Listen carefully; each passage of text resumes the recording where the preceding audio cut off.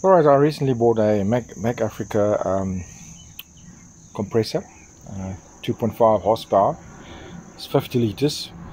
Um, so I'm going to unbox this, and have a look what's inside. Basically, this is what you see from the outside. Alright, so I've taken all the stuff off. Let's see what we have inside.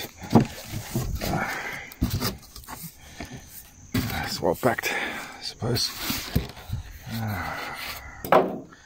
okay, so you basically have the wheels and stuff that you got to put on. Okay, let me take this. Let me take this out. All right, so out of the box, got the wheels, the handle, the filter, and then obviously all the screws, which I will do in due course. I'm just gonna have to put the screws in. Alright, so wheels on.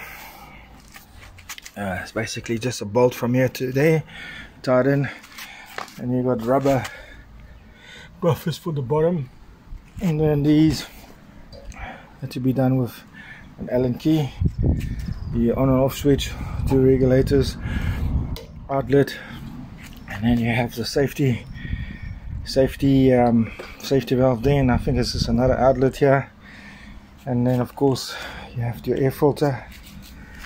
And then don't forget the uh, oil level must be where the bubble is.